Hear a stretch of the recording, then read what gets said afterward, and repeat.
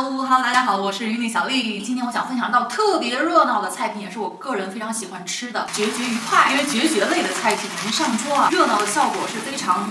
立体的香气、锅气，那种滋滋啦啦的响声，非常的热闹，大家都会被这道菜带到一个聚会的高潮啊！另外要特别注意一下，嗯，做绝绝类的这个锅具。今天我用的是新入的这个非常有分量的北鼎二十八厘米白珐琅铸铁锅做这道菜，它比较浅，口比较广，非常适合做这种焖焗类的菜品。那我们今天看怎么做。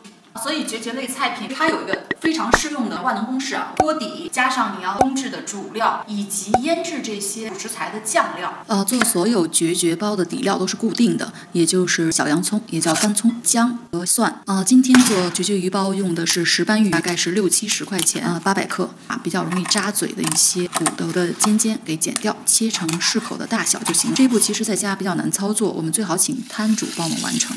就是为了防止刚才切鱼过程中有。碎渣渣，所以我们要把这鱼洗一下啊，洗干净之后擦干，再调味就比较容易入味了。制作绝绝包的时候，所有的主料都要用这三种粉料先抓匀。啊，接下来是对于绝绝包来讲比较灵魂的酱料，我今天用的是呃辣椒酱、普宁豆瓣儿还有蚝油。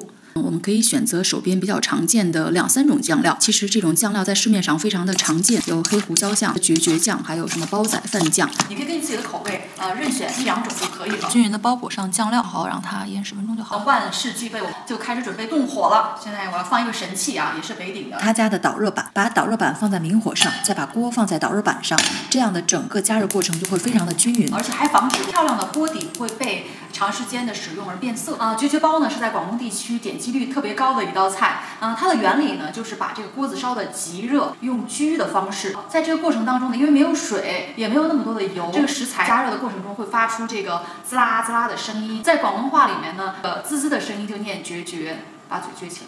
呃，就是当你打开锅盖，大概一二十厘米都能感觉到它的热气的时候，这时候呢，加一些底油，一定注意少少的油就行。那因为今天使用的北鼎的白珐琅锅呢，这个珐琅它的密度非常的高，完全不吸油，所以我们主要是煸香这个底料就可以了。均匀的放上腌制好的鱼块，要注意鱼块之间不能有重叠。特别要注意的一点就是下面的这个底料呢要多，它相当于架起来了一个空间。盖上锅盖，这时候需要计时六分钟。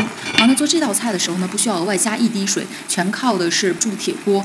它本身这个盖子的厚重感和密封性，这个原理呢有点像高压锅，先以高温呢逼出食物自己的水分，在水蒸气升腾的过程中呢，哎，它遇到这锅盖儿，就会通过这锅盖内侧的凝水点均匀的落下，这等于是利用食材的原汁儿呢，快速的焗熟了食材本身。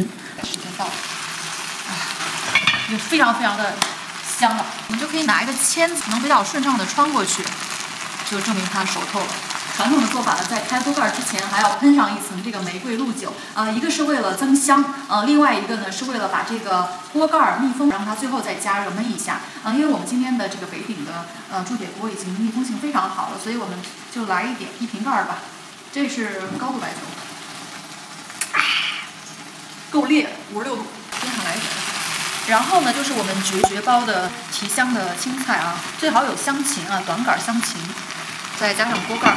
焖三十秒钟啊，所以绝绝包的烹制呢，对锅本身的保温性要求非常高。那铸铁锅的材质更容易储存热量，散热也慢，锅里的食物呢能够非常均匀的受热。关火之后呢，铸铁锅的余温还能让食材持续加热一阵子。很 Q 哎，比蒸出来的要 Q。味料已经都包裹在外面，然后里面也微微的渗进去一层，很鲜。